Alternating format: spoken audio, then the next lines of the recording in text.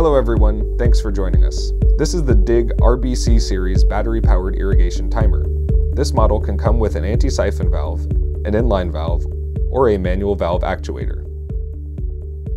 The programming is identical for each model. Today, we're going to use the RBC 8000 to cover some important features of this series. We'll also show you how to program the timer and enter a simple watering schedule.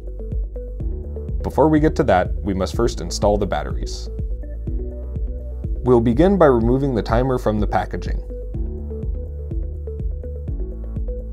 Locate the owner's manual and set it aside for future reference.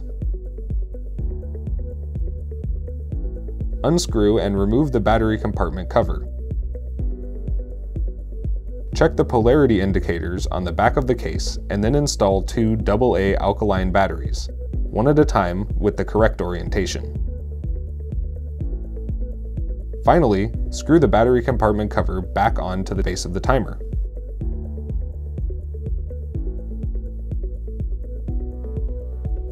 The RBC timers are programmed by using the buttons below the display. The center target button is used to select which mode to program or review. Icons will appear on the display to indicate which mode has been selected. The right and left arrow buttons are used to make the display flash. The up or down arrow buttons are used to change the entry when it is flashing. The upper right hand button with the water drop is the manual button, which is used to start or stop a manual run. The upper left hand button is the power button, which is used to immediately power the timer on or off. Like any other irrigation timer, there are three modes that need to be set by the user, the watering duration, the watering frequency, and the start time. But before we set a watering schedule, we must first set the current time and date. Let's begin by pressing the target button until the time date icon appears in the upper left corner of the display. The hour digits will be flashing. Next, press the up or down arrow button to set the current hour. AM or PM is also selected in this mode by advancing the hour digits past 12. When finished, press the right arrow button again to make the minutes flash, and use the same button to finish setting the current time. Next, we need to set the current month, date, and year. To do so, press the right arrow button again, and the month digit will appear flashing on the left. Press the up or down arrow buttons to set the current month. Then, press the right arrow button again and the date will flash in the center. Use the same button to set the current date, and then press the right arrow button again to make the year flash. Follow the same steps to set the current year.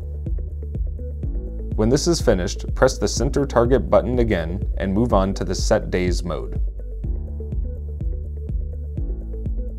To program the RBC timers to water on specific days of the week, push the target button until the Set Days icon appears in the lower left corner of the display.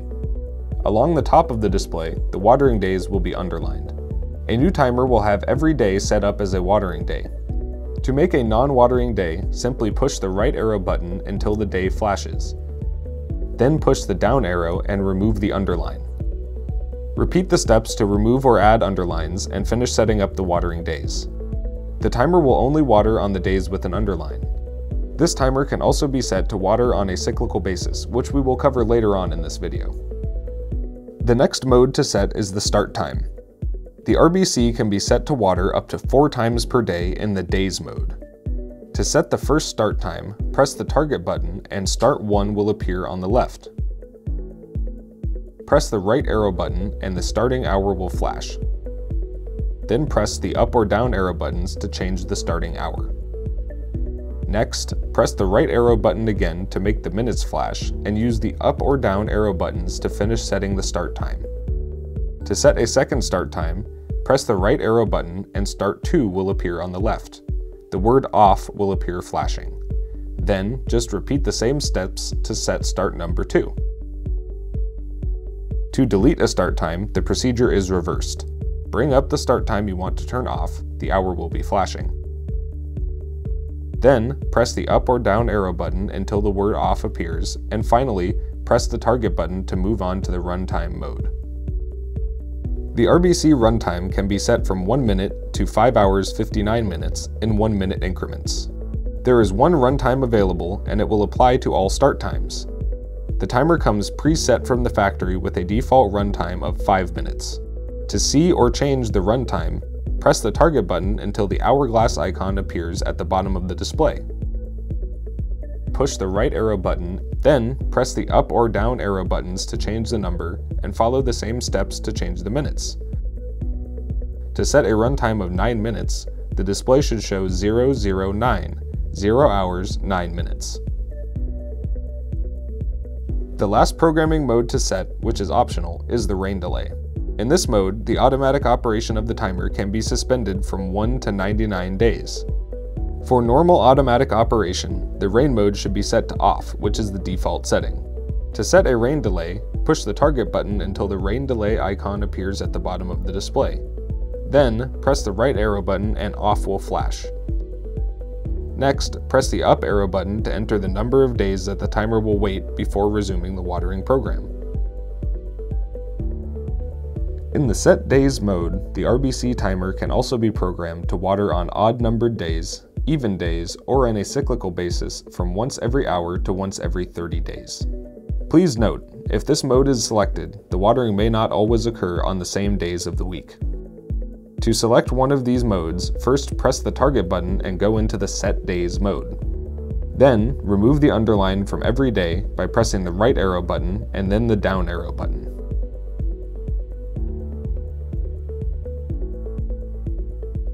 When Sunday is flashing, press the right arrow button again and the word even will appear.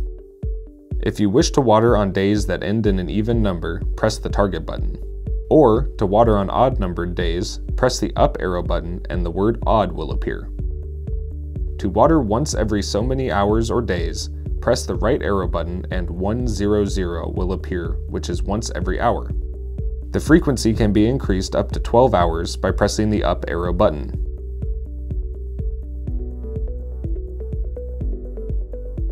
To go into the cyclical days mode, press the right arrow button again and one day will appear on the right. To water once every 4 days, just push the up arrow button and change the flashing number to 4. The timer will now water once every 4 days. The starting day of a cyclical program can be set in the rain delay mode. Simply push the target button until the rain delay icon appears at the bottom of the screen, and then push the right arrow button to make the entry flash.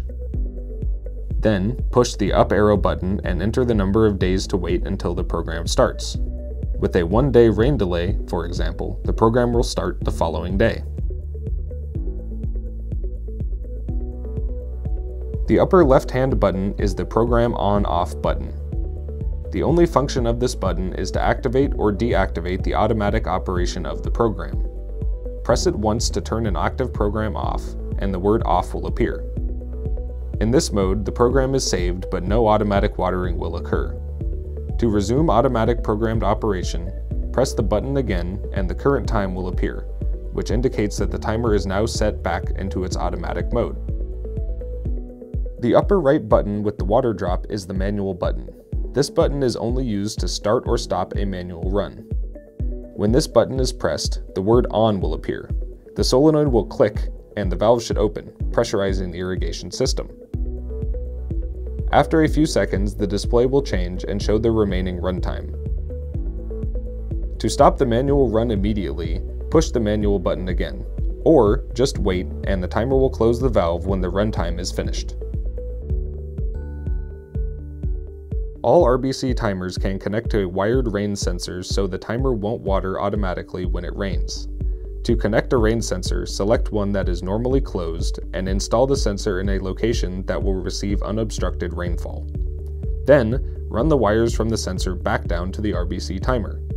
Cut the yellow wire loop in the center and strip both the wire ends back about half an inch.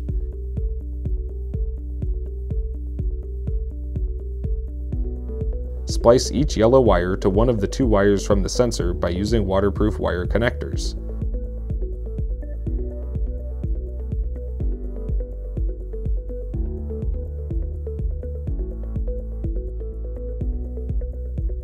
When the sensor is activated by sufficient rainfall, The sensor icon will appear on the display, and automatic operation will be suspended until the sensor dries out. When this occurs, the icon will disappear and the automatic operation will resume. The timer is now programmed and ready to go. The RBC series timers are just a few of the many water-saving products from DIG. To learn more about these models or any of our other high-efficiency, low-volume irrigation products, please log on to our website, digcorp.com. Thanks for watching.